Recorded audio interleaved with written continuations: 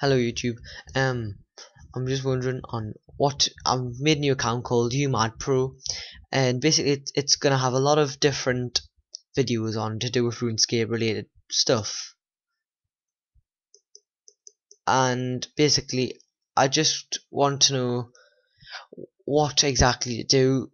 I mean, I'm gonna get. I'm, I'm aiming for 85 defense very shortly. I mean, it's 60k now here, so it won't be that long till I get up to 85. And I'm, I don't know whether I go for 99 strength, and I'm definitely gonna get 94. Well, 93 and 84 for Venge, because then I can mage pot for 94. And I'm gonna do Lunar Diplomacy as well. There's a lot of quests I need to do. A quick run through of what quests I can do. Um, so yeah, um, these are the stats I've got.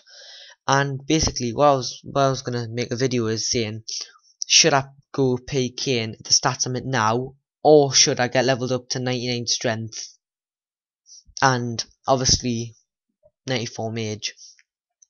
But then if I do, would that be decent stats to go PKing with?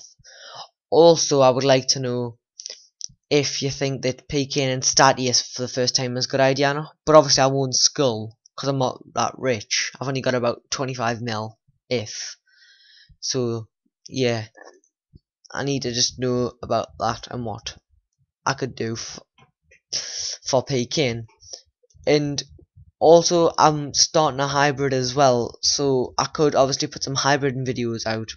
The only thing about that is the hotkeys, so I'm gonna have to change the hotkeys around so I can use the F1s 3, 4 and 5 then I'll be alright.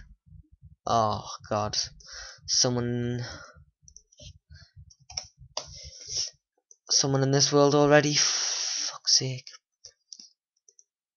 But anyway um that's that's about it. So if you could I would like for people to you know like leave us a comment.